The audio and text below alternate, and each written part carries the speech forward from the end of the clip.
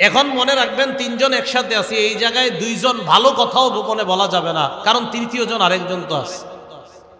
কথা বুঝছেন? ভালো কথা তো কানে কানে বলা যায়, কিন্তু তিনজন একসাথে, আমরা তিনজন ছাড়া কেউ নাই এখানে। এখানে দুইজন গোপনে কথা বলা ঠিক না তৃতীয় জন ছাড়া। কেন ঠিক না?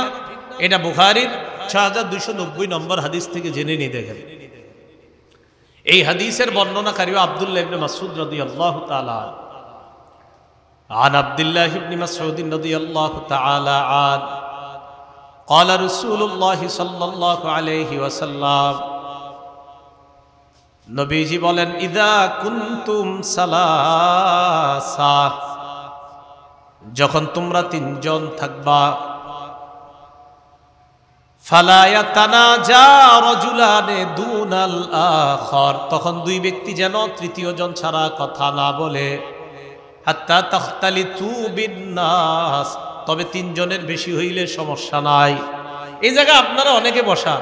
এখন মাদ্রাসার মোতামিম কানে কানে আইসা যদি আমার কিছু বলে সমস্যা নাই। কারণ এখানে কি আমরা তিনজন না অনেক? অনেক। তো যদি তিনজনের বেশি হয় সমস্যা নাই। নবীজি বলেন, তিনজন শুধু হইলে একজন আরেকজনের সাথে গোপনে বলবা না। কেন? আজালা হতে পারে তোমরা দুইজন কথার কারণে তৃতীয় জন কষ্ট পাবে।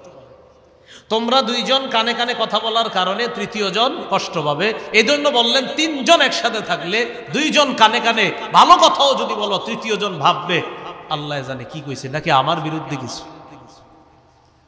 রসুল্লাহ সাল্লাহ সাল্লাম বললেন তিনজন থাকলে দুইজনে বলবা না, কেন?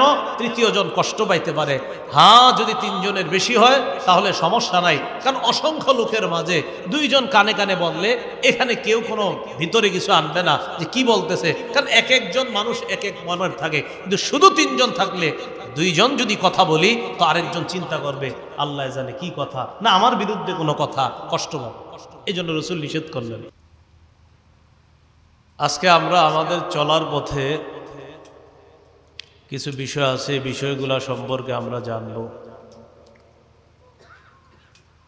আল্লাহ বাক রব্বুল আলমিন বলেন, আলম তর ফিল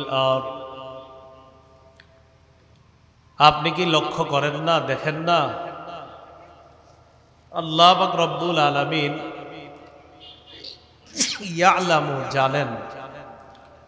মা ফিসামাওয়াতি ওয়া মা ফিল আর। আসমান, জমিনের যা কিছু আছে, সব আল্লাহ জানেন। মা ইয়াকুনু মিন নাজওয়া সালাসাতিন ইল্লা হুয়া রাবিউহুম। তিনজনের মাঝে যখন কোনো গোপন কথাবার্তা হয়, গোপন আলোচনা হয়।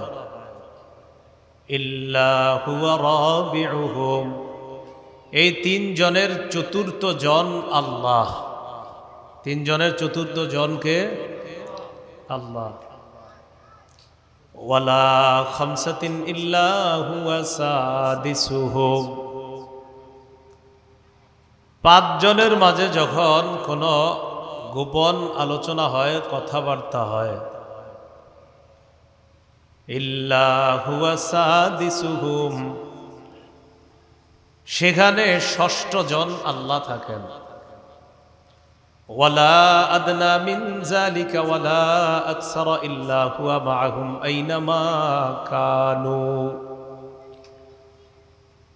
তিনজনের চেয়ে কম হোক অথবা পাঁচজনের চেয়ে বেশি হোক মোট কথা কম বেশি যতজনই কোনো গোপন কথা বলে, তাদের মনে রাখতে হবে, এখানে আমরা দুজন আসি তো তৃতীয় জন আল্লাহ, তিনজন আসি তো চতুর্থ জন আল্লাহ আছেন।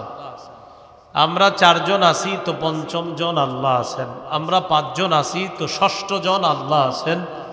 এই কথা মনে রাখা। ثم ينبئهم بما عملوا يوم القيامة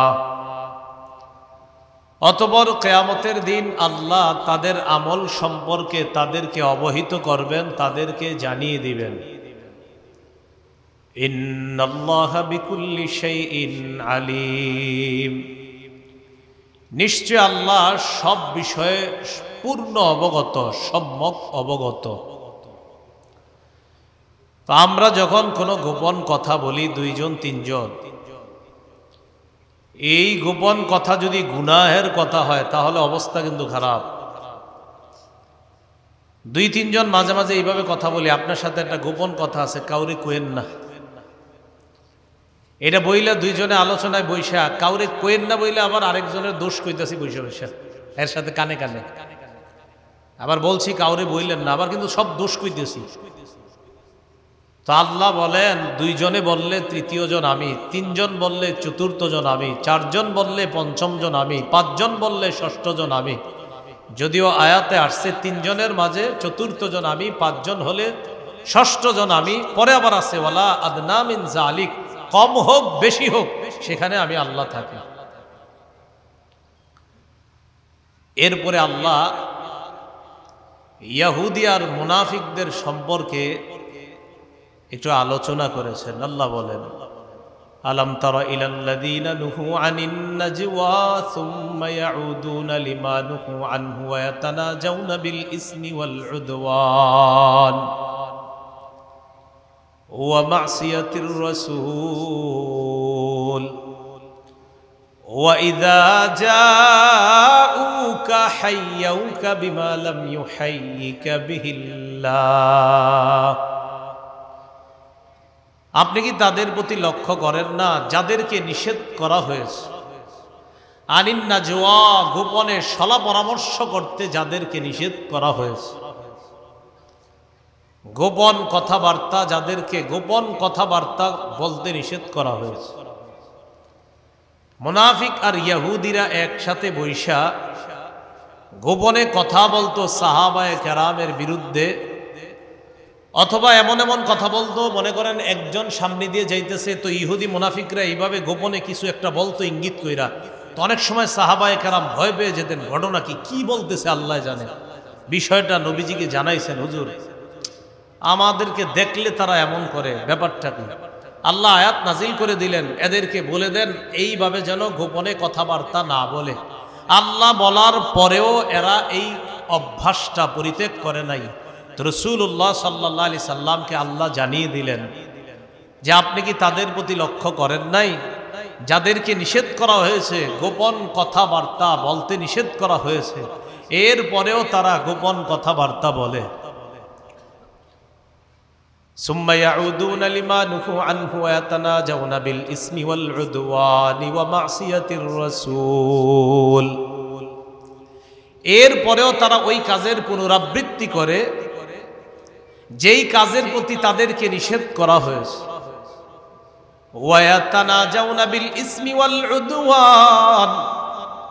তাদেরকে গুনাহের ব্যাপারে গোপনে কথা বলতে নিষেধ করা হয়েছে। সীমা লঙ্ঘন করার ক্ষেত্রে তারা যেন গোপনে কথাবার্তা না বলে এই ব্যাপারে নিষেধ করা হয়েছে। অমাসিয়াতির রসুল, তারা যেন রসুলের বিরোধিতা না করে, এই ব্যাপারে তাদেরকে নিষেধ করা হয়েছে। আর কি? وَإِذَا جَاءُوكَ حَيَّوْكَ بِمَا لَمْ يُحَيِّكَ بِهِ اللَّهُ এই সমস্ত বেঈমানগুলা আপনারে যখন অভিবাদন জানায় এমন ভাষায় এমন শব্দে অভিবাদন জানায় যেই ভাষায় যেই শব্দে আল্লাহ আপনাকে অভিবাদন জানায় না এরা আপনাকে এইভাবে অভিবাদন জানায় কিভাবে রসুলকে বলতো আসসাম আলাইকা সাম মানে হলো মৃত্যু, ধ্বংস। নবীজিরে বলতো, আপনার উপর ধ্বংস হোক, আপনার মরণ হোক নাওজুবিল্লাহ সালাম মানে শান্তি। সালাম মানে কি? আর সাম মানে ধ্বংস, মৃত্যু। তো তারা নবীজিরে এইভাবে বলতো সাম আলাইকুম। ধ্বংস হোক, মৃত্যু হোক আপনার।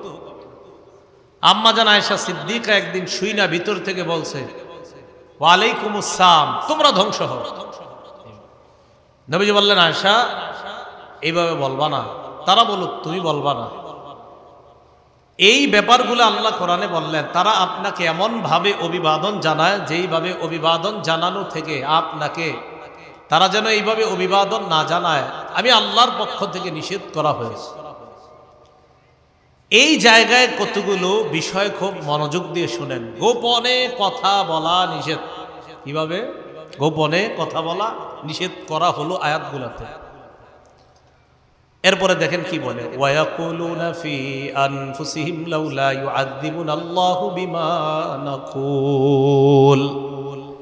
এরা মনে মনে বলে, আমরা যে নবীরে উল্টা পাল্টা বলি এইগুলা বলার কারণে কেন আমাদেরকে আল্লাহ আজাব দেয় না? এরা এই কথাও মনে মনে বলে, আল্লাহ আমাদের কথার কারণে আমাদেরকে কেন আজাব দেয় না? হাসবুহুম জাহান্নাম। তাদের ঠিকানা জাহান্নাম। মাসির। জাহান্নাম তাদের জন্য যথেষ্ট, জাহান্নামে তারা প্রবেশ করবে।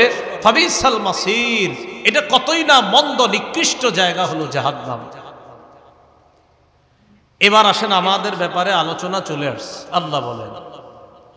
ইয়া আইয়ুহাল্লাযীনা আমানু ইযা তানাজাইতুম ফালা তাতানাজাউ বিল ইসমি ওয়াল উদওয়ান। ওয়া মাসিয়াতির রাসূলি ওয়া বিল বিররি ওয়াত তাকওয়া হে ইমানদারগণ, ইমানদার কারা? বলেন আমরা, ইমানদার কারা?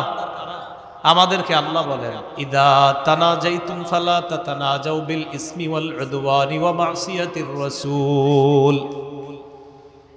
তোমরা যখন গোপনে কথাবার্তা বলো, গোপন পরামর্শ করো, ফালা তাতানাজাউ বিল ইসমি ওয়াল তোমরা গুনাহের ব্যাপারে গোপনে কথা বলবা না, ওয়াল উদওয়ান সীমালঙ্ঘনের ব্যাপারে গোপনে কথা বলবা না। ওয়ামাসিয়াতির রসুল, রসুলের অবাধ্য করার ক্ষেত্রে গোপন কোনো কথা বলবা না। ওয়াতানা যাও বিল বিররি ওয়াত্তাকওয়া তোমরা পুণ্য এবং তাকওয়ার ব্যাপারে গোপনে কথাবার্তা বলবা। এই আয়াতে বুঝলাম গুনাহের কথা দুইজন গোপনে বলা জায়েজ নাই, সীমালঙ্ঘন করার কথা দুইজন গোপনে বলা জায়েজ নাই, নবীর কোনো বিরুদ্ধাচরণ করা এটা তো প্রকাশ্যেও জায়েজ নাই, এটা গোপনেও জায়েজ নাই। হ্যাঁ ভালো কথা গোপনে বলা এটা জায়েজ আছে তা তাকওয়ার ব্যাপারে দুইজন একান্তে আলাপ করা এটা জায়েজ এতটুকু বুঝে আসছে? এতটুকু বুঝে আসলে এবার আমরা কয়েকটা মাসালা হাদিস থেকে জানবো দেখেন কি বলে সই বুখারির বর্ণনা ছয় হাজার দুইশো অষ্টআশি নম্বর হাদিসের বর্ণনা عن عبد الله بن مسعود رضي الله تعالى عن أن النبي صلى الله عليه وسلم قال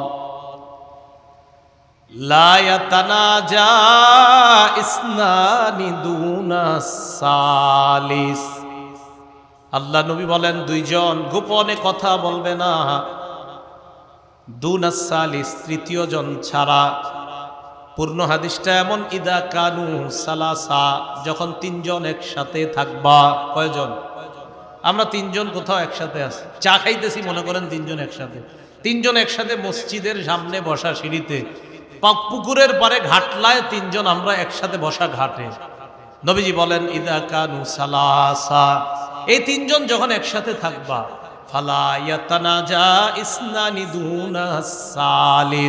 এখানে তোমরা দুইজন গোপনে কানে কানে কথা বলবা না, তৃতীয় জনরে ছাড়া।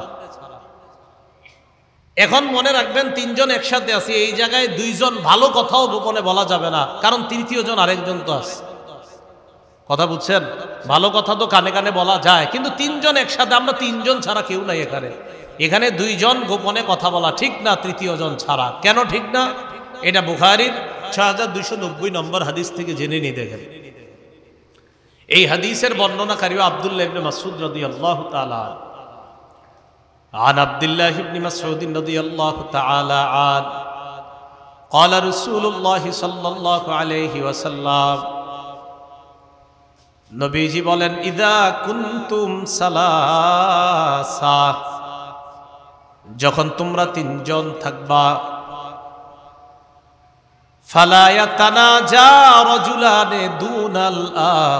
তখন দুই ব্যক্তি যেন তৃতীয় জন ছাড়া কথা না বলে তবে তিনজনের বেশি হইলে সমস্যা নাই। এই জায়গায় আপনারা অনেকে বসা। এখন মাদ্রাসার মোতামিম কানে কানে আইসা যদি আমার কিছু বলে সমস্যা নাই। কারণ এখানে কি আমরা তিনজন না অনেক? অনেক। তো যদি তিনজনের বেশি হয় সমস্যা নাই। নবীজি বলেন, তিনজন শুধু হইলে একজন আরেকজনের সাথে গোপনে বলবা না। কেন? হতে পারে তোমরা দুইজন কথার কারণে তৃতীয় জন কষ্ট পাবে। তোমরা দুইজন কানে কানে কথা বলার কারণে তৃতীয় জন কষ্ট পাবে। এই জন্য বললেন, তিনজন একসাথে থাকলে দুইজন কানে কানে ভালো কথাও যদি বলো তৃতীয় জন ভাববে, আল্লাহ জানে কি কইছে, নাকি আমার বিরুদ্ধে কিছু? রসুল্লাহ সাল্লাহ সাল্লাম বললেন তিনজন থাকলে দুইজনে বলবা না, কেন? তৃতীয় জন কষ্ট পাইতে পারে। হ্যাঁ যদি তিনজনের বেশি হয়, তাহলে সমস্যা নাই। কারণ অসংখ্য লোকের মাঝে দুইজন কানে কানে বললে এখানে কেউ কোনো ভিতরে কিছু আনবে না যে কি বলতেছে। কারণ এক একজন মানুষ এক এক মনের থাকে। কিন্তু শুধু তিনজন থাকলে দুইজন যদি কথা বলি, তো আরেকজন চিন্তা করবে, আল্লাহ জানে কি কথা। না, আমার বিরুদ্ধে কোনো কথা, কষ্ট পাবে। এই জন্য রসুল নিষেধ করলেন। তো আল্লাহ বললেন, তোমরা গোপনে কথা বলবার গুনাহের কথা বলবা না, সীমালঙ্ঘনের কথা বলবা না, রসুলের নাফরমানির কথা বলবা না, আর তাকুয়ার কথা বলো, পুণ্যের কথা বলো। বাকি হাদিস থেকে জানলাম, তিনজন একসাথে থাকলে দুইজন কানে কানে কথা না বলা, কেন? তৃতীয় জন কষ্ট পাইতে পারে। সই বুখারির বর্ণনা। ছয় হাজার দুইশো একানব্বই নম্বর হাদিস। এই হাদিসের মধ্যে আসছে। এটাও আবদুল্লাহ মাসুদ রদি আল্লাহ তালা আনহুর বর্ণনা। এই জায়গাটা শোনার আগে আগে একটা বাংলা মনে রাখব।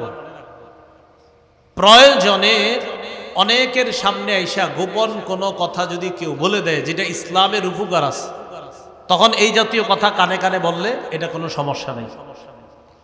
সেই বুখারির ছয় হাজার দুইশো একানব্বই নম্বর হাদিসের বর্ণনা এটাও আবদুল্লাহ ইবনে মাসুদের বর্ণনা হাদিসটা মন দিয়ে শুনলে মাসালাটা আপনাদের সামনে ক্লিয়ার হয়ে যাবে عن عبد الله بن مسعود رضي الله تعالى عنه قال بينما النبي صلى الله عليه وسلم قسم النبي صلى الله عليه وسلم يوما قسمتان রসুল্লাহ সাল্লাহ সাল্লাম একদিন বন্টন করলেন। কি করলেন? বন্টন। বিভিন্ন মাল বন্টন, এরকম মাল বন্টন করলেন। ফকল রজুলুম মিনাল এক আনসারি ব্যক্তি দাঁড়িয়ে বললেন, ইন্না হাদিহি লাকিসমাতুন মা উরিদা বিহা ওয়াজহুল্লাহ। অনুবাদ শোনার আগে একবার পড়েন, নাউজুবিল্লাহ। অনুবাদ শুইনাও পড়বেন নাউজুবিল্লাহ। নবীজি বন্টন করলেন, এক ব্যক্তি দাঁড়ায়া বলল, নবী, এই বন্টনে আল্লাহর সন্তুষ্টির প্রতি লক্ষ্য রাখেননি। নবীর ব্যাপারে এক ব্যক্তি কয়, নবী নাকি বন্টনে আল্লাহর সন্তুষ্টির প্রতি লক্ষ্য রাখে নাই। এই কথা যখন আবদুল্লাহ ইবনে মাসুদ রাদি আল্লাহ তালা আনহু শুনলেন, তিনি বলেন ফাকুলতুল আতিয়া নবী সাল্লাল্লাহু আলাইহি ওয়াসাল্লাম। তিনি বলেন, আমি মনে মনে বললাম, আমি অবশ্যই আল্লাহ রসুলের কাছে যাব। ব্যাপারটা নবীরে জানাইতে হবে।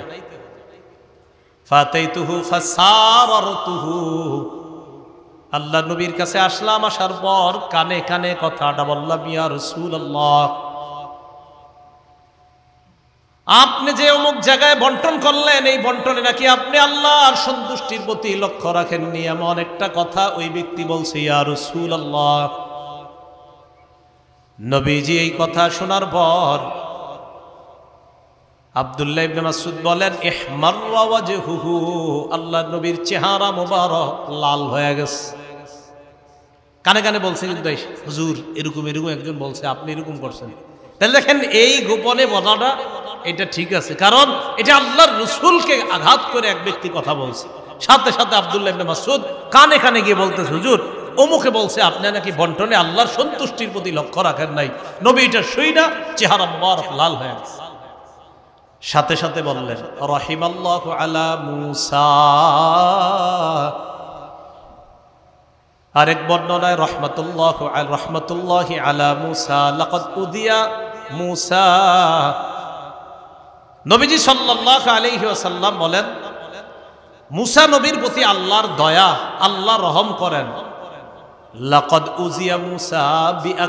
মিন হাদা ফাসবারা। মুসা নবীরে আমার চেয়েও বেশি কষ্ট দেওয়া হয়েছে, তিনি ধৈর্য ধারণ করছেন। আমি না হয় এতটুকু কথা শুনলাম, তো আমার চেয়ে মুসা নবী আরও বেশি ধৈর্য ধারণ করছেন। মানে নবী বুঝাইছে, এমন এক কথা আমার ব্যাপারে বলছে, যেটা ধৈর্য রাখার মতো কথা না। যা হোক, মুসা নবীরে আমার চেয়ে বেশি কষ্ট দেওয়া হয়েছে। মুসা নবী ধৈর্য ধারণ করেছেন, ঠিক আছে, আমিও ধৈর্য ধারণ করলাম। নবীরে এমন কথা বলছে, নবী সাথে সাথে বললেন লাকত উজিয়া মুসা বি আকসার মিন হাজা মুসা নবীরে এর চাইতে বেশি কষ্ট দেওয়া হয়েছে। সবার তিনি ধৈর্য ধারণ করেছেন। তাহলে এইখানে দেখেন, নবীজি বন্টন করছে। বন্টনের সময় এক ব্যক্তি এমন এক কথা বলছে যে, আবদুল্লাহ ইবনে মাসুদ দৌড়ে গিয়ে নবীর কানে কানে হুজুর এরকম কথা বলছে। তাহলে এই জায়গায় কানে কানে কথাটা নগদ বলে দেওয়াটা জরুরি ছিল, তাই কানে তারে তাড়াতাড়ি গিয়ে বলে দিছে মাঝে মাঝে প্রয়োজনীয় কথা লম্বা সময় অনেকের মাঝে হতে পারে। তখন আমরা যারা দূরে থাকব অনেক সময় দুই আলেম পাশাপাশি বৈশে আপনার আস্তে আস্তে কথা বলে। এখানে আমরা দশ বারো জন আছি। আমাদের উচিত আসলে তাদেরকে সুযোগ করে দেওয়া। আমরা এখানে অন্তর্ভুক্ত না হয়ে, অনুপ্রবেশ না করে আমরা অন্য কোনো কাজে লেগে যাওয়াটাই ভালো। যদি অনেক বেশি লোক হয়। সই বুখারির ছয় হাজার দুইশো বিরানব্বই নম্বর হাদিসের বর্ণনা। عن انس بن مالك رضي الله تعالى عنه قال اقيمت الصلاه وناجى ورجل يناجي رسول الله صلى الله عليه وسلم একামত হয়ে গেছে নামাজের আপনি কতবার দাঁড়াচ্ছেন হ্যাঁ এই যে ভাই যথেষ্ট ডিস্টার্ব করছেন শুরু থেকে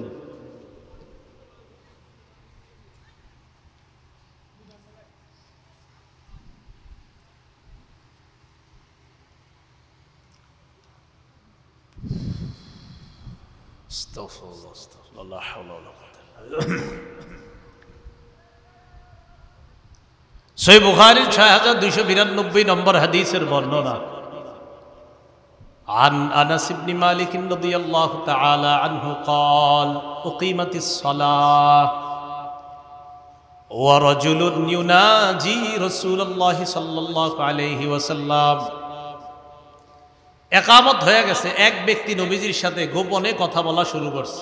আস্তে আস্তে কথা বলা শুরু করছে আর কি, আস্তে আস্তে একামত হয়ে গেছে। সাহাবিরা নামাজে দাঁড়ায় গেছে। এক ব্যক্তি ইতিমধ্যে নবীজির সাথে কথা বলা শুরু করছে।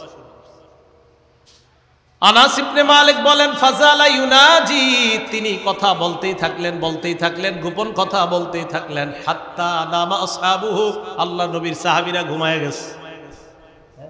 কি করছে? ঘুমায় গেছে। একামত হয়ে গেছে। তিনি কথা এত বলতেছে এত বলতেছে যে সাহাবিরা ঘুমায় গেছে। তাহলে কি পরিমাণ লম্বা কথা? তো যাই হোক, এখানে মাসালা হলো আপনার একামত হয়ে যাওয়ার পর প্রয়োজনীয় কোনো কথা ইমাম সাহেব অন্য কারোর সাথে যদি বলার প্রয়োজন হয়, প্রয়োজনীয় সামান্য কিছু কথা বলতে পারা যায়। হ্যাঁ। এটা লম্বা ফিখি মাসালা। তো নবীজির সাথে লম্বা আলোচনা করতেছে গোপনে যে সাহাবায় কেরাম ঘুমায় গেছে।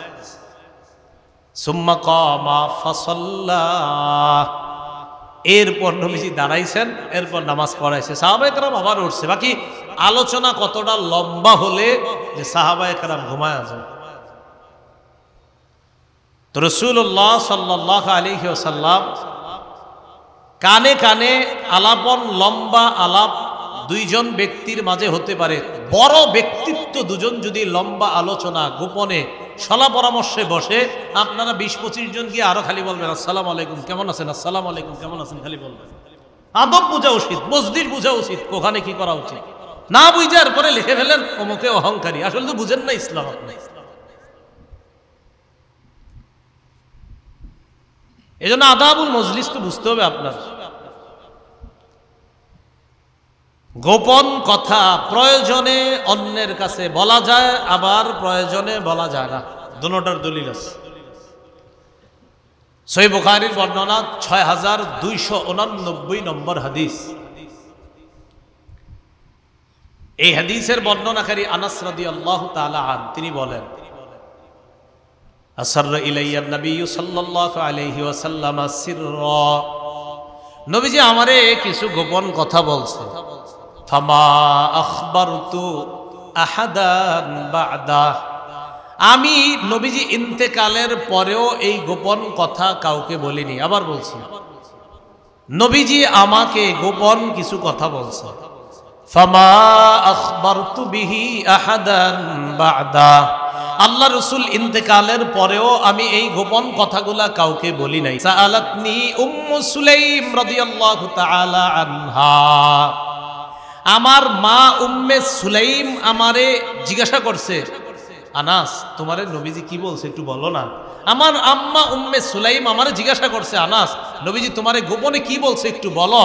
ফামা আখবারতুহা, আমার আম্মাকেও আমি বলিনি। তাহলে এটা নিশ্চিত এমন কোন গোপন বিষয় যেটা বলা উনি প্রয়োজন মনে করেন নাই, সাহাবি আনাস তাই বলে নাই, এমনকি তার আম্মাকেও বলে নাই। এই হাদিস থেকে বোঝা যায়, কিছু গোপন সবার জানতে হয় না। বাস, যে ওমকে কি বলছে, ওমকে কি বলছে, এটা ওই জায়গায় রাখতে দেন। এটা আপনি জানতে চান। কিছু গোপন বিষয়, ব্যক্তি মারা যাওয়ার পর বলা যায়। একটা হাদিস জানলাম, বলা যায় না। যেটা হজরত আনাস বললেন যে, আল্লাহ রসুল ইন্তেকালের পরে আমি কাউকে বলি নাই, এমনকি আমার আম্মাকেও বলি নাই। আর কিছু বিষয় আছে, বলা যায়। বলা যায়, এটার দলিল সই বুখারির বর্ণনা ছয় হাজার দুইশো পঁচাশি নম্বর হাদিস।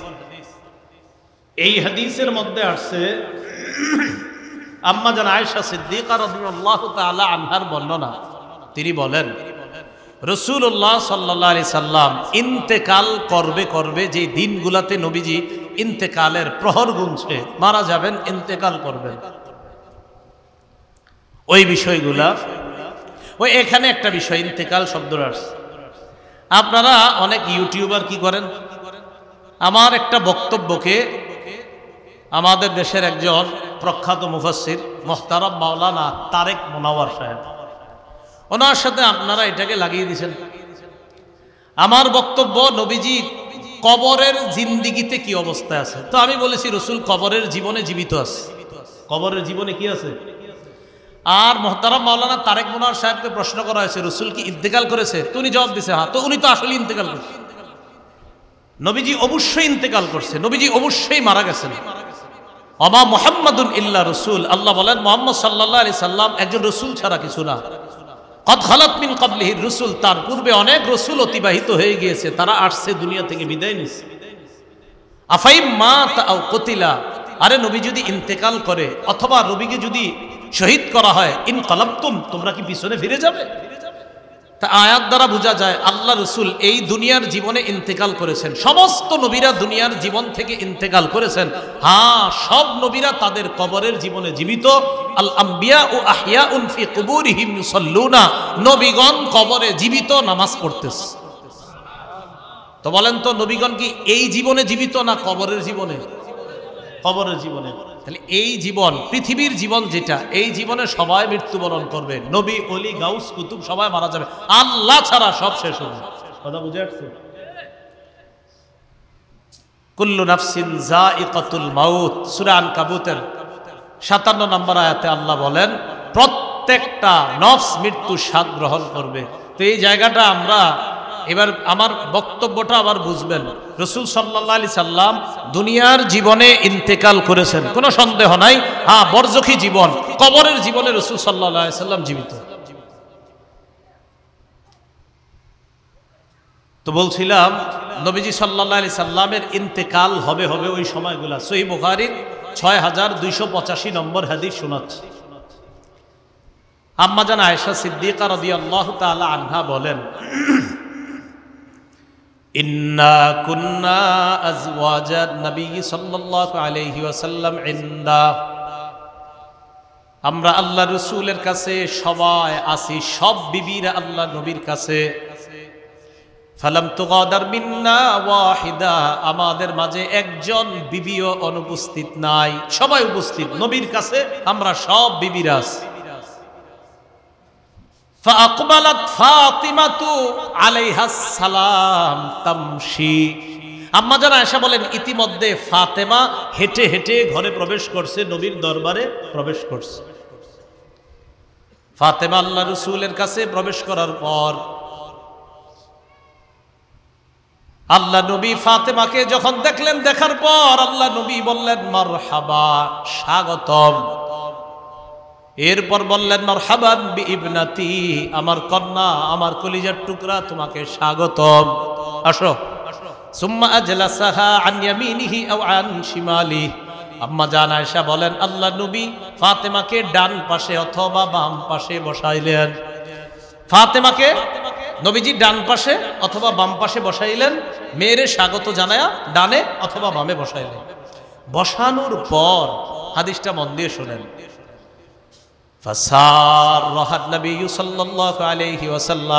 নবীজি ফাতেমাকে কানে কানে গোপনে কি বলছে? কথা বলছে।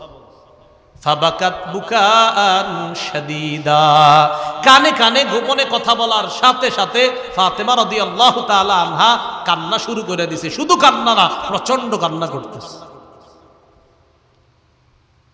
কান্না করতে করতে এক পর্যায়ে রসুল্লাহ সাল্লাহ আলি সাল্লাম যখন দেখলেন, ফালাম্মা মেয়েকে যখন ভারাক্রান্ত দেখলেন, মেয়ের দুঃখটা যখন দেখলেন, দেখার পর নবীজি আবার ডাক দিলেন, ডেকে বসিয়ে সার রাহা সানিয়া, দ্বিতীয়বার গোপনে আবার কিছু বললেন। কয়বার হলো গোপন কথা? প্রথমবার গোপন কথা বলার পর ফাতেমা রাদিয়াল্লাহু তালা আনহা কি শুরু করলেন? কান্নাকাটি।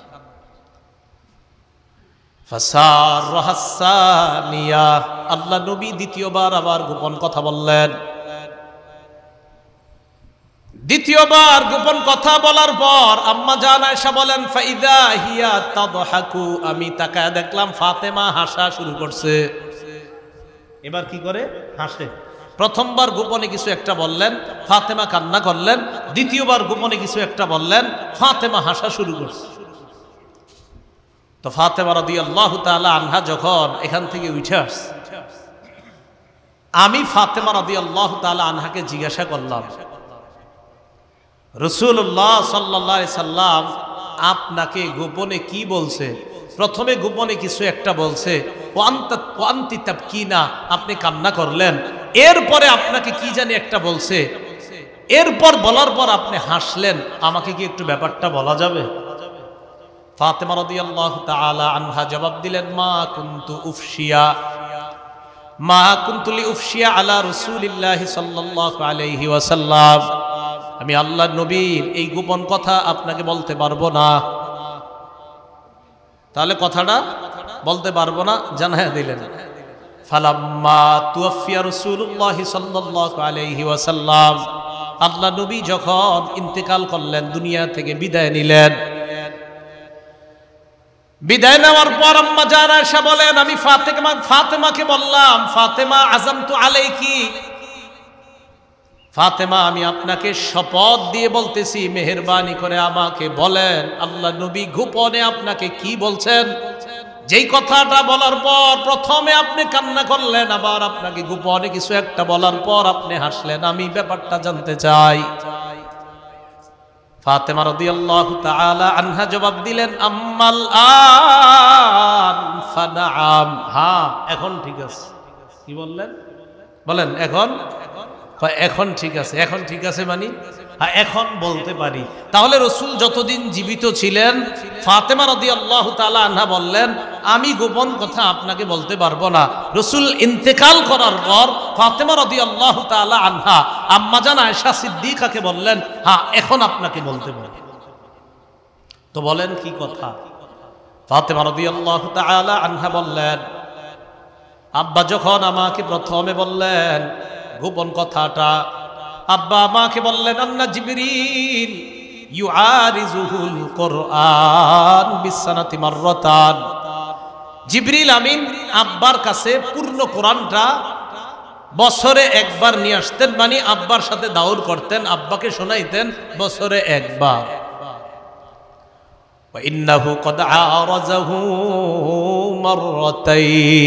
আব্বা বলছেন যে বছরে একবার কোরআন নিয়ে আসতেন, কিন্তু এবার দুইবার কোরআন নিয়ে আসছে। ফাতেমা, আমার মনে হচ্ছে, আলা ইন্নাল আজালা কাদিক তারবা আমার মনে হয় সময় ঘনিয়ে আসছে, আমি মনে হয় বিদায় নিব। আব্বা যখন এটা বলছে, বলার সাথে সাথে আমি কান্না করা শুরু করছি। হাসলেন কেন? এরপর আব্বা আমাকে কানে কানে বলছেন আমার তার দইনা আন্তাকুনি সাইয়্যিদাতা নিসাই আহলিল জান্নাহ আও নিসা আহাদিহিল উম্মাহ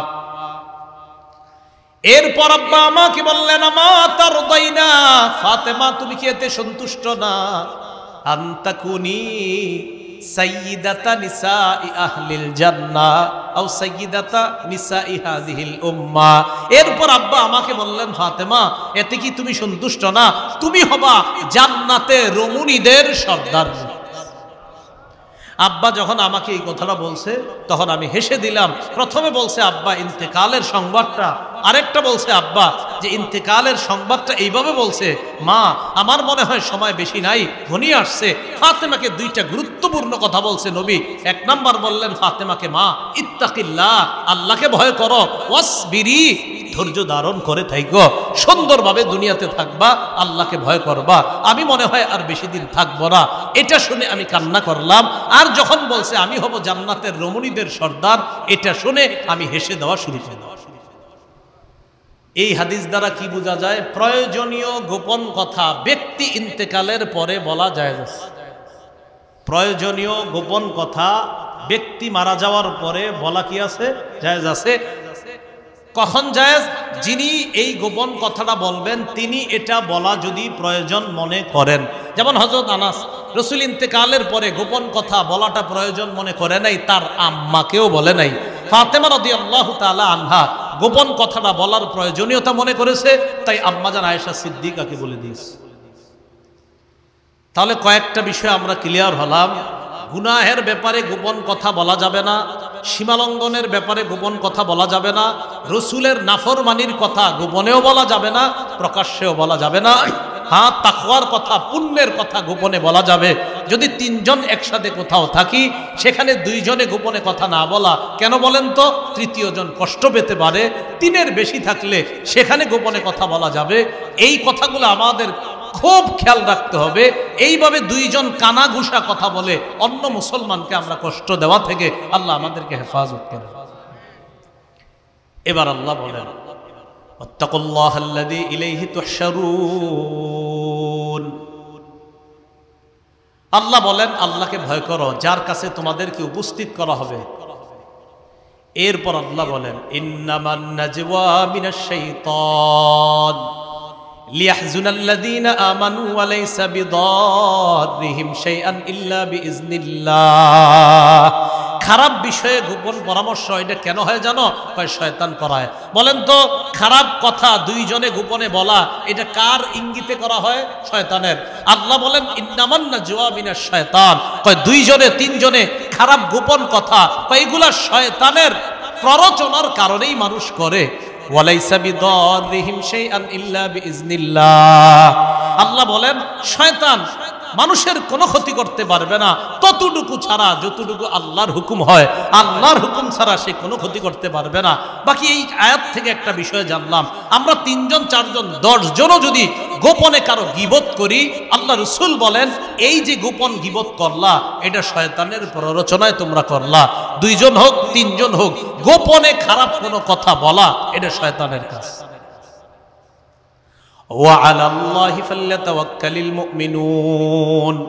মুমিনদের উচিত আল্লাহর কাছে ভরসা করা, আল্লাহর উপর ভরসা করা। এরপরে আল্লাহ কি বলে দেখেন?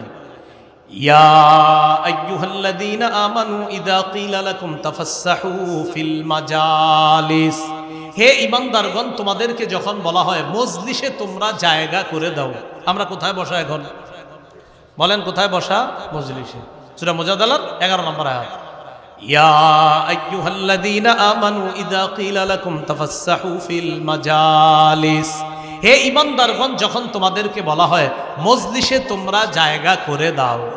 ফাফসাহু, জায়গা করে দিও। আল্লাহ তোমাদেরকে জান্নাতে জায়গা করে দিবে। মজলিসে বসা, শুক্রবার দিন জুমার নামাজ পড়তে গিয়ে আরেকজনের ঘাট টপকায় টপকায় সামনে যান কারা কারা? হ্যাঁ? তারাবির নামাজ সামনের কাতারে পড়ার জন্য আগের জনের ঘাড় টপকায়া টপকায়া যান, এরকম মানুষ প্রথম প্রথম পাঁচ রমজান, দশ রমজানে দেখা যায়, যদিও পরারে মসজিদে আসে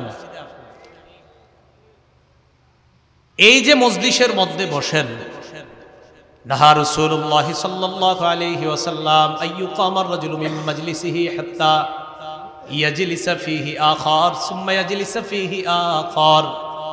রসুল নিষেধ করেছেন, কোনো ব্যক্তিকে তার মজলিস থেকে উঠাইয়া সেখানে গিয়ে কেউ বসতে, এটা আল্লাহ রসুলের নিষেধ।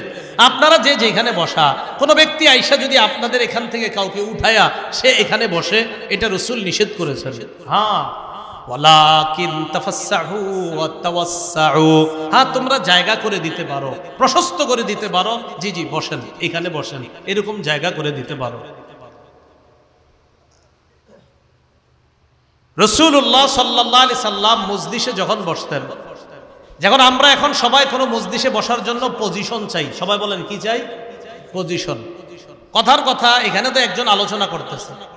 আমরা একটা মিটিংয়ে বসছি কোথাও, এরকম দশ বারো বিশ জন, এমনি এক জায়গায় কথা বলার জন্য বসছি, চার পাঁচজন কথা বলব। তখন ওখানেও সবাই চাই যে আমি একটু পজিশনে বসি। অথচ আল্লাহ রসুলের চাইতে বড়, আল্লাহর পরে আর কেউ নাই। তিনিও মজলিসের মধ্যে পজিশন চাইতেন না।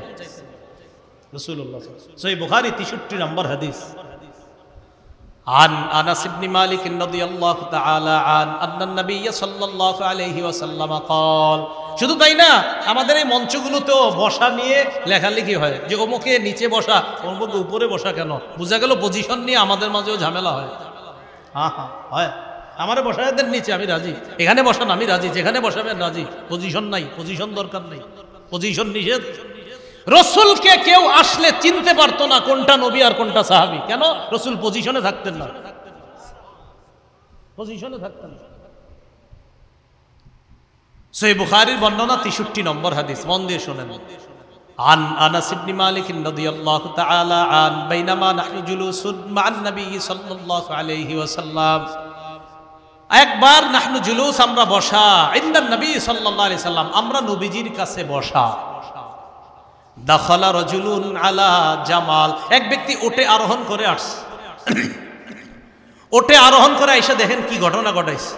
মসজিদে ঢুকে গেছে। মসজিদে ঢুকে গেছে। ফিল মসজিদি ওয়া ওটারে মসজিদের মধ্যেই সাথে তা এক ব্যক্তি আসছে, আইসা মসজিদে এরকম বানছে। ওনার উদ্দেশ্য নবীজির সাথে দেখা করবে। কার সাথে? সাথে। তো স্বাভাবিকভাবে আপনারা বর্তমান যুগে কোথাও যদি কারোর সাথে দেখা করতে যান, প্রধান লোকটারে চিনতে কিন্তু আমাদের কষ্ট হয় না। প্রধান, কষ্ট হয় না, কারণ উনি যেমন আমার এই মাদ্রাসায় যখন বসাবে হুজুররা, আপনারা আমার সাথে দেখা করতে গেলে বুঝবেন এটি আরিফ বিন আবি। কারণ ওই যে পজিশন দিয়ে রাখে। তো রসুল্লাহ সাল্লাহ সাল্লাম বসা। ওই ব্যক্তি সাহাবিদেরকে প্রশ্ন করলেন, আইয়ুকুম মুহাম্মদ। এই তোমাদের মাঝে মোহাম্মদকে সুবহানাল্লাহ। ওই ব্যক্তি প্রশ্ন করতেছে, তোমাদের মাঝে মোহাম্মদকে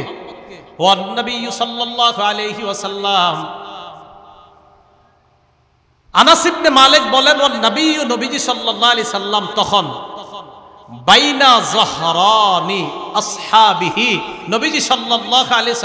তখন তার সাহাবীদের মাঝেই আছে, যাদের মাঝে ওই ব্যক্তি নবীরে খুঁজতেছে, নবী সাহাবীদের মাঝেই তখন আছে।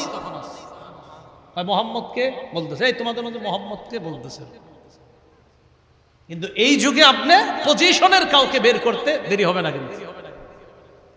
তো বলতেছে মোহাম্মদকে সাল্লাহ আলি সাল্লাম সাল্লাহ সাল্লাম পড়েন সবাই তো সাহাবিরা দেখাই দিলেন, ওই যে উনি।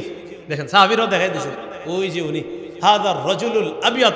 ওই সুন্দর মানুষটাই মোহাম্মদ সাল্লাহ ওই সুন্দর মানুষটা আল মুত্তাকিও এমনি এক জায়গায় একদম সাধারণ মানুষের মতো বসে রয়েছে। তো বলতেছে উনি মোহাম্মদ সাল্লাহ এই সুন্দর মানুষটা মোহাম্মদ সাল্লাহ বুঝাইতে চাইলাম মসজিষের মধ্যে রসুলের হালাত থাকতো এরকম অথচ আমরা সমস্ত মসজিষে আমরা সবাই পজিশন নিয়ে ব্যস্ত আবু দাউদ শরীফের বর্ণনা চার হাজার ছয়শো আটানব্বই নম্বর হাদিস এই হাদিসের বর্ণনাকারী দুইজন সাহাব عن أبي ذر وأبي هريرة رضي الله تعالى عنهما قالا আবু জর এবং আবু হরায়রা রাদিয়াল্লাহু তাআলা আনহুমা থেকে বর্ণিত তারা দুইজন বলেন। কুন্না ইদা আতাইনা নবী সাল্লাল্লাহু আলাইহি ওয়াসাল্লাম। আমরা সাহাবারা যখন আল্লাহ রসুলের কাছে আসতাম, কানা আহাদুনা ইয়াজলিসু হাইতু ইয়ানতাহি বিহিল মাজলিস। আমরা যখন সাহাবারা নবীজির কাছে আসতাম, তখন আমরা নবীজির কাছে আসার পর আমাদের মাঝে কেউ যদি মজলিসে বসতো, তো মজলিসের শেষেই বসে যাইতো। এমন না যে ঘাড় টপকি একটু সামনে গিয়ে বসছে, এমন না। স্বাভাবিকভাবে বসে যাইতো। ও, এটা আবু দাউদ শরীফের চার হাজার আটশো পঁচিশ নম্বর হাদিস। আর আবু দাউদ শরীফের চার হাজার ছয়শো আটানব্বই নম্বর হাদিসের মধ্যে আসছে রসুল্লাহ সাল্লা সাল্লাম হঠাৎ যখন কোনো মজলিসে আসতেন, বাস সবাই বসা একসাথে। আল্লাহ রসুল আসতে পিছনে সবার সাথে বসে যেত সাহাবারা বের করতে হইতো নবীজি ও আচ্ছা নবীজি ওখানে বসে এই যুগে হয়? তো কোথায়? কি পড়লাম আর কি করলাম? রসুল্লাহ সাল্লাহ সাল্লাম এইভাবে মসজিষের মধ্যে নবীজি নিজেকে স্বাভাবিক একজন মানুষের মতো রাখতেন। আবদুল্লাহ ইবনে অমর রদি আল্লাহ তালা আনহুমার বর্ণনা। সামনে আসুন তো আপনারা দুইজন? একসাথে বসুন, একসাথে। সবাই তাকান। নবীজি সাল্লাহ আলি সাল্লাম নিষেধ করেছেন। আবু দাউদ শরীফের চার হাজার আটশো চৌচল্লিশ নম্বর হাদিস। নবীজি বলেছেন, তোমাদের কেউ যেন দুই ব্যক্তিকে ফাঁকা না করে মাঝে বসার চেষ্টা না করে। পিছন দিয়ে এসে হ্যাঁ দেখছেন কীভাবে আমাদেরকে শিখিয়ে দিচ্ছে? এই, তোমাদের কেউ যেন এমন না করো। দুইজনের মাঝখানে এইভাবে বলে চাপ, দুইজন চাপ। মাঝখানে বসলেন। না, এরা দুইজন স্বেচ্ছায় যদি আপনাকে রসুল বলছেন, ইল্লা বিজনিহিমা এই দুইজন যদি অনুমতি দেয় হ্যাঁ তখন মাঝে বসতে পারবে তাহলে রসুল্লাহ সাল্লাহ আলি সাল্লাম বলছেন, দুই ব্যক্তিকে তুমি জোর করে ফাঁকা করে মাঝে বসবা। না এই অধিকার তোমাকে দেয় না ইসলাম। ওই দুইজন যদি অনুমতি দেয় হ্যাঁ তখন তুমি মাঝখানে বসতে পারো। এটা ইসলাম, এটা ইসলামের সৌন্দর্যতা, এটা ইসলামের শিষ্টাচার, এটা ইসলামের শিক্ষা। তো আমরা মসজিষের মধ্যে যখন বসবো, এইভাবে কারও দুইজনের মাঝে বসতে গেলে এরকম করব, আসেন। মসজিষের মধ্যে তৃতীয় আর একটা বিষয়, তিনটা জিনিস মনে রাখবেন। হাঁচি আসা, হাই তোলা, ঢেকুর তোলা। কটা বললাম বলেন তো? হাঁচি আসা, হাই তোলা, ঢেকুর তোলা। হয় কিনা আমাদের? হাঁচিও আসে, হাইও আসে, ঢেকুরও আসে। হাঁচি আসলে কি করব? রসুল্লাহ সাল্লাহ সাল্লাম, ইদা আতস আহাদুকুম। নবীজি বলেন, তোমাদের কেউ যখন হাঁচি দিবে, তখন সে যেন তার কাপড় দিয়ে মুখটা এইভাবে চেপে ধরে আওয়াজটা যেন হালকাভাবে করে। নবীজি সাল্লাহ সাল্লাম যখন হাঁচি দিতেন, এইভাবে নবীজি কাপড় দিয়ে মুখ চেপে ধরে আওয়াজ হালকা করে উচ্চারণ করতেন। হাঁচি আসা কিন্তু দেখেন, অনেক সময় আপনি এইখান থেকে হাঁচি দিবেন, চারি পাঁচতলা থেকেও মানুষ, অনেক মানুষের হাঁচির আওয়াজ অনেক জোরে হয়। ঘুমন্ত ব্যক্তি ঘুম থেকে জাপ দিয়ে উঠে যায় হাঁচির কারণে। তো নবীজি বলছেন, হাঁচি আসলে মুখের মধ্যে এইভাবে, এ দেখেন, আমার যদি হাঁচি আসে এই কথা কিন্তু শুনতেছেন না। হাঁচি আসলে মুখে এইভাবে যখন রুমাল পেঁচায় ধরবেন রসুল বলছে কাপড় দিয়ে এইভাবে ধরবে। ধরার পর হাঁচি দিবেন তখন অটোমেটিক আওয়াজ আসতে হবে। এটা আমার রসুলের শূন্য আরেকজনে কষ্ট হবে না। এগুলো মসজিষের মধ্যে যদি হাঁচি আসে এই জন্য পাশের মানুষকে কষ্ট দিবেন না। হাঁচিতে আরেকটা ঝামেলা হয় যদি হাত না দেন। আপনার মুখ থেকে কোনো শ্লেষা বের হয়ে আরেকজনের গায়ে যেতে পারে। তাহলে হাঁচি আসে একটা মজলিসে আরেকটা আসে হাই। ওই যে যেটা ঘুমের হাই। এই হাই তোলা। এটা যদি আপনি করেন, এ আমরা তিনজন একসাথে বৈশা যদি, আমি যদি হাই তুলি, ঘুম ঘুম ভাব করি, এরা দুইজন ঘুম চোখে না আসলেও ঘুমাইসা করবে। এরা দুইজন। যেমন গাড়ি যখন ড্রাইভ করে ড্রাইভার এর পাশে যদি বসে আপনি ঘুমান, বেচারার একটু করে ঘুমাসবে রসুল্লাহ সাল্লা সাল্লাম বলেন আত্মাসা উবমিনা শয়তান। হাই, এটা শয়তানের পক্ষ থেকে আসে। ইজা তাসা আবা আহাদুকুম। তোমাদের কেউ যখন হাই তোলে, তখন যেন মুখটা, মুখের মধ্যে হাতটা রাখে। কেন? যদি হাত না রাখো। ইফাইন্না শয়তানা ইয়াদ হলো হাত না রাখলে শয়তান তোমার মুখে প্রবেশ করে। তাহলে হাত, এটা রাখতে হবে। হাত না রাখলে শয়তান প্রবেশ করে। কারণ শয়তান খুশি হয়। হাই তুললে হাই তুললে শয়তান কয়, অলস সাহেব, আমার লোক। তখন শয়তান খুশি হয়। অলস? শয়তান খুশি হয় অলস আচ্ছা। তিন নাম্বার কি জানি বলছি? ঢেকুর। বলেন কি? ঢেকুর। এটা আরবিতে জুসা। রসুল্লাহ সাল্লাহ সাল্লাম বলেন ইদা তাজাসা আহাদুকুম। তোমাদের কেউ যখন ঢেকুর তোলে দেখেন ঢেকুর যখন আসে না অনেক সময় ঢেকুরটা কিছু কিছু ঢেকুর একদম বিরক্তিকর। বিশ্বাস করেন মানে দেখবেন অসহ্য এবং গন্ধ বের হয়ে যায়। রসুল সাল্লাহ এই তোমাদের কেউ যখন ঢেকুর তোলে, তখন একটু সাবধানতা অবলম্বন করা। পাশের লোকটা যেন তোমার কষ্ট না পায় তোমার ঢেকুরের কারণে, তখন আপনি এমনভাবে নিজেকে সতর্কতা অবলম্বন করা, যেন আপনার ঢেকুরের গন্ধ বা আওয়াজে পাশের লোকটা কষ্ট না পায়। ঢেকুরে মাঝে মাঝে অনেকের মুখ থেকে দুর্গন্ধ বের হয়। এই জন্য রসুল সাল্লাহ সাল্লাম এগুলা নিষেধ করেছেন। মজলিস নষ্ট না করার জন্য নিষেধ করেছেন। তাহলে মজলিসের ব্যাপারে যেটা ছিলাম এক মজলিসে পজিশন তালাশ না করা। আমি যেখানে জায়গা পাবো সেখানে বসে যাওয়া। দুই, মজলিসে কাউরে উঠাইয়া বসার চেষ্টা না করা। তিন, দুইজনের মাঝখানে, দুইজনের চাপ দিয়া মাঝখানে না বসা। হ্যাঁ তারা অনুমতি দিলে বসতে পারি। চার নাম্বার, যদি হাঁচি আসে, মুখে একটা কাপড় দিয়ে হাঁচি দেওয়ার চেষ্টা করা। পাঁচ নাম্বার, যদি আমরা হাই তুলি, মুখে হাত রাখা, না হয় শয়তান প্রবেশ করবে। ছয় নাম্বার, যদি আমাদের কোনো আপনার ঢেকুর আসে, যে ঢেকুরটা ভিতর থেকে আসে, এই ঢেকুর আসার কারণে আশেপাশের মানুষ কষ্ট না পায় যা যা করলে, এমন পজিশন অবলম্বন করা। আল্লাহ বাক রব্বুল আলমিন আমাদের সকলকে মজলিসের ব্যাপারে যে কথাগুলো বলা হলো, আর শুরুতে গোপন কথা, তিনজন, চারজন গোপন কথার যে আলোচনাগুলো করা হলো, সবগুলা আমরা আমাদের দৈনন্দিন জীবনে ফিট করার চেষ্টা করব। আল্লাহ তৌফিক দান করেন, আমিন।